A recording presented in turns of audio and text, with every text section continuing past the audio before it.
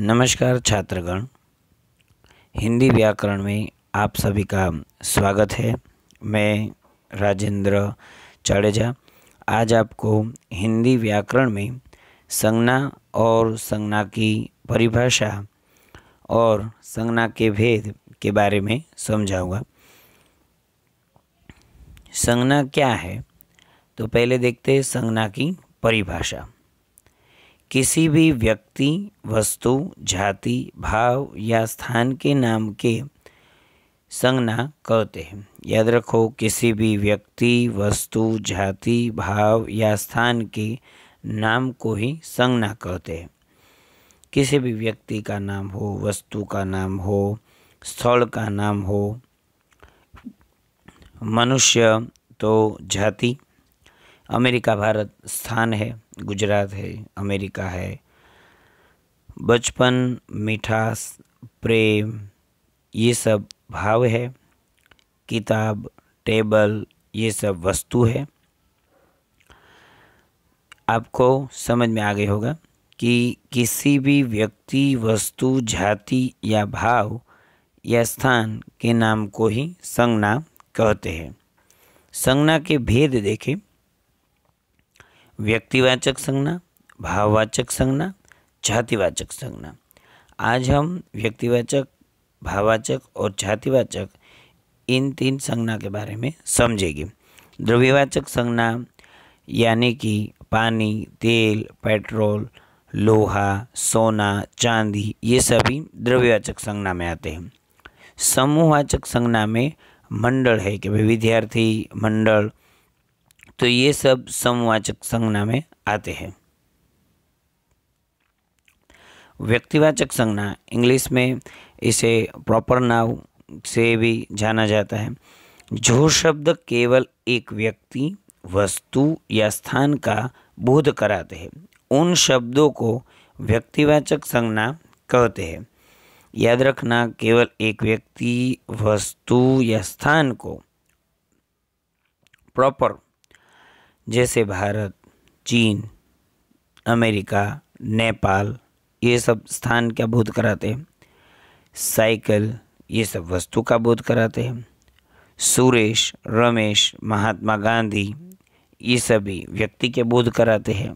आपका नाम है, आपके फ्रेंड्स का नाम है, वो सभी व्यक्तिवाचक संज्ञा है। रमेश, बाहर खेल रहा है। महेंद्र सिंह धोनी क्रिकेट खेलते हैं। मैं भारत में रहता हूँ। महाभारत एक महान ग्रंथ है। अमिताभ बच्चन कलाकार है। तो आप देख सकते हो कि ऊपर जो दिए गए वाक्य में रमेश, महेंद्र सिंह धोनी, भारत, महाभारत, अमिताभ बच्चन, संज्ञा शब्द कह लेंगे। क्योंकि ये शब्द किसी विशेष व्यक्ति वस्तु या स्थान का बोध कराते। आप लोगों को समझ में आ गया होगा कि व्यक्तिवाचक संज्ञा में केवल एक व्यक्ति वस्तु, स्थान का बोध कराते। ऐसे शब्द है, उन लोगों को व्यक्तिवाचक संज्ञा कहते हैं।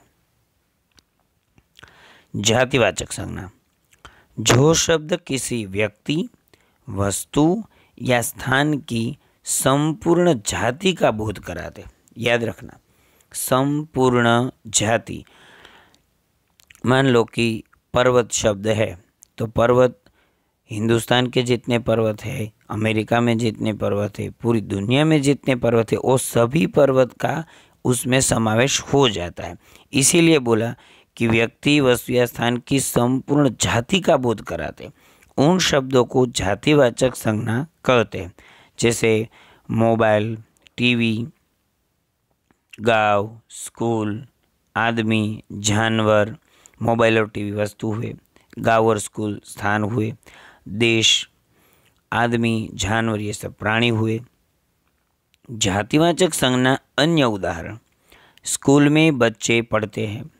बिल्ली चूहे खाती है। पेड़ों पर पक्षी बैठे हैं। ऊपर दिए गए वाक्यों में बच्चे, चूहे, पक्षी, जातिवाचक संज्ञा शब्द कहलाएँगे स्कूल भी, क्योंकि ये किसी विशेष बच्चे या पक्षी का बोध न कराकर सभी बच्चे व पक्षियों का बोध कराते हैं।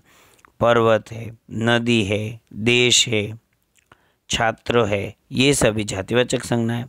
ये किसी विशेष वस्तु या व्यक्ति का बोध न करा के उनकी पूरी जाति का बोध कराते हैं।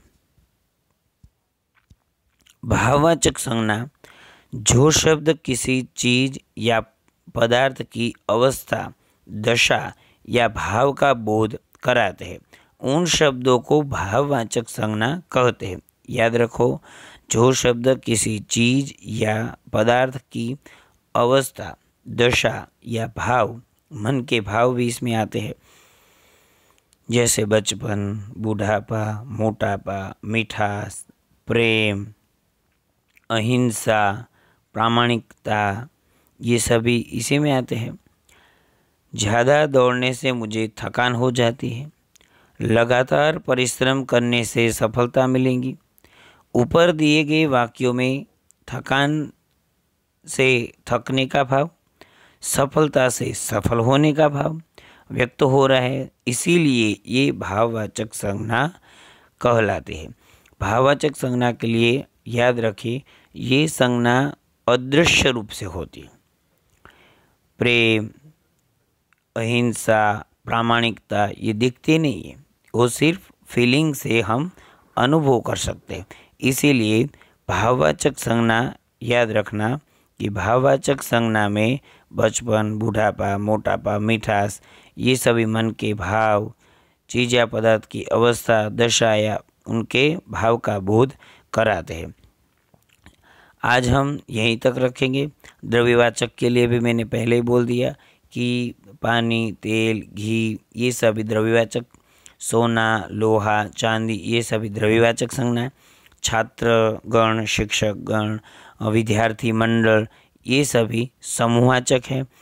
आज के लिए हम यहीं पे रुकते हैं। थैंक